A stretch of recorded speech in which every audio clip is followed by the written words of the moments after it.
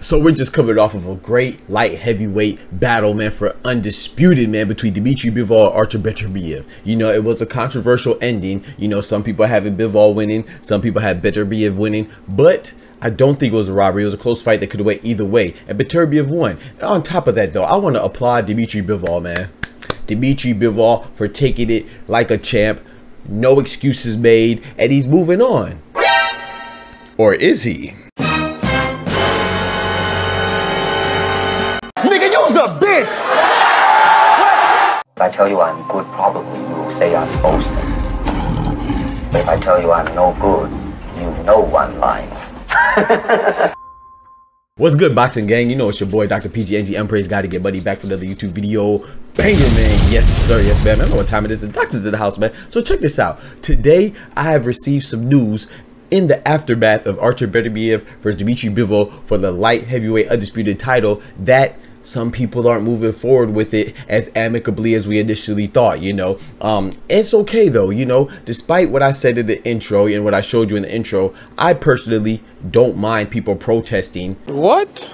a, a, a result of a of a fight you know? The reason why i don't mind is because it is a tool and system in place to be utilized by the fighters when they have a discrepancy or they feel like an injustice was served and they want to rectify the issue. So I have no problem with that, man. So I just think that he's doing this, in my opinion, I don't think it was robbery. I don't think any foul play was at hand. But according to him and his team, you know, more specifically his team, because Dimitri Bivol is actually moving on according to him. But you know, you move as a unit, and if your manager, your promoter, your team have an issue with it, then they're gonna push forward. You know, it's not it's not solely on Dimitri Bivol, you know. He might be trying to move forward. His team's like, hold on, man. You know, now they doing you wrong, my boy. So I gotta, you know, we gotta go take this up to the proper authoritative figures and try to fix this issue, you know, especially if they feel like that there was some shady business going on. Because according to the manager of Dimitri Bivol, he said that he saw, literally saw them, you know, by his own observation. He has ocular proof You have the ocular proof. What did did I you just see say? Ocular. Did- that he saw Bivol's team, sorry, B- BF's team, primarily top rank, his promotional team, celebrating and ready to to acknowledge that Beterbiev as a winner before the actual results were announced. And that's not good. You know what I'm saying? That's not right. That won't make you feel right, especially if you went and put your heart out, just like both teams did, Beterbiev and Team Bivol, you know, to get this victory on this on this monumental event, you know. Um, do I think that they should protest it? It's not really up to me. I could care less. I actually do believe that if you want to protest something, that you should do it. Now, do I think it was a robbery? No. So do I think that you it needs to be protested? No. However, I just don't judge. You know, I don't judge in that regard because I have no problem with fighters utilizing every tool or anybody utilizing any tool to correct an issue, especially if they feel like the result was erroneous. However, I will say this: my issue comes with these so-called boxing fans who aren't really boxing fans or not fans of the sport. They're a fan of a particular boxer, and anytime a particular boxer does something if they like that boxer, they're okay with it. If they don't like the boxer, then they're a little less okay with it. You know what I'm saying? So let me give you some examples of some fighters that claimed to file a protest in the past. Oh yeah, you know that guy Teofimo? Oh yeah, he claimed to protest. Yo, yo, yo. You got, hey, hell of a fighter, but I won tonight, man. Everybody know that. Bullshit! Bullshit! Bullshit, bullshit, bullshit, bullshit! The referee raised my hand. I won tonight. I don't care what anybody says, yo. I love you all. I won this fight. Nigga, you's a bitch! Uh, him and his team claimed to protest the Kambosos loss. You know what I'm saying? And they even had the excuse said that they were sick. Was he legitimately legitimately sick? That's none of my business. But I'm just telling you what transpired. Oh, you know that guy named Vasily Lomachenko? Oh yeah, him and his team they protested the loss against Devin Haney too. You know what I'm saying?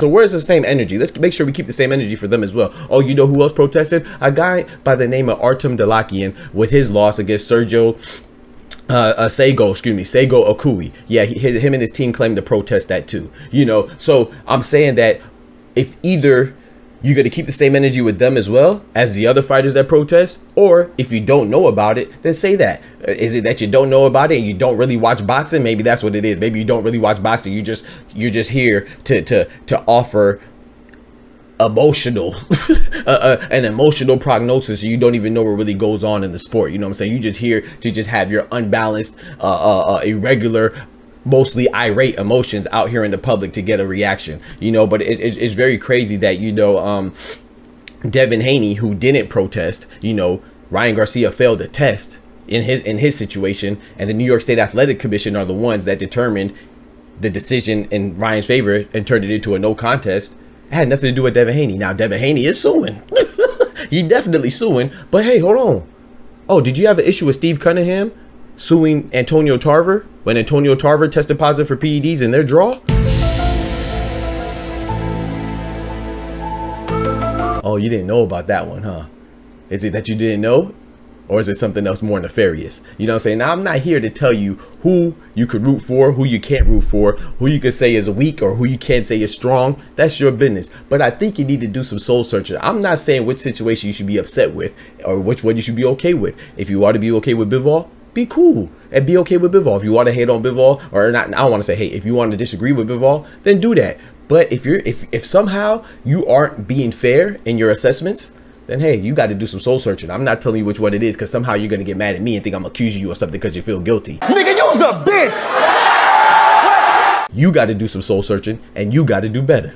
That's it, man. You know, so I don't think there's anything wrong with Bivol and his team protesting. Uh, his management and all that, you know, but they work as a team. I don't think there's anything wrong with Devin Haney and his team uh, uh, trying to rectify their issue and get compensated for their for for their slight. You know, I don't think there's anything wrong with Amir Khan getting banned for two years when he tested positive for Ostarine. You know, I don't think there's anything wrong with that. You know, there's rules in place and they should be upheld. And if you feel like you were robbed in a decision, whether you're O'Shaquie Foster against Robson Conceição, or if you feel like you're robbed with Vasily Lomachenko versus Devin Haney, or if you feel like you're robbed of Artem Delakia versus Seigo Akui, or if you feel like you're robbed if you're Teofimo versus Kambosos, or if you feel like you were robbed and you're Bivol against Better Beterbiev. Whether I agree with it or not is not the issue.